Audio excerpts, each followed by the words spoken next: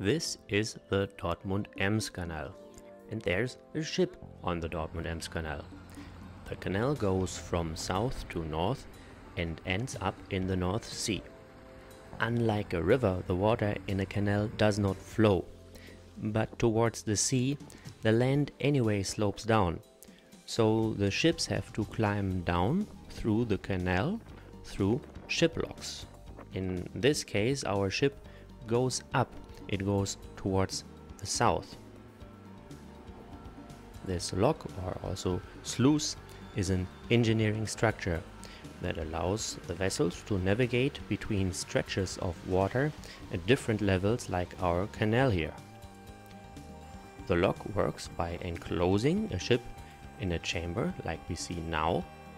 Then it is adjusting the water level inside to match the higher or lower waterway.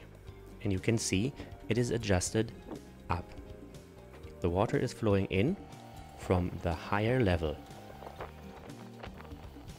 And our ship rises because of its buoyancy.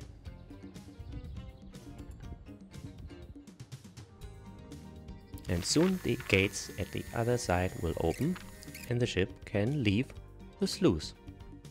That's how it's done. Fascinating.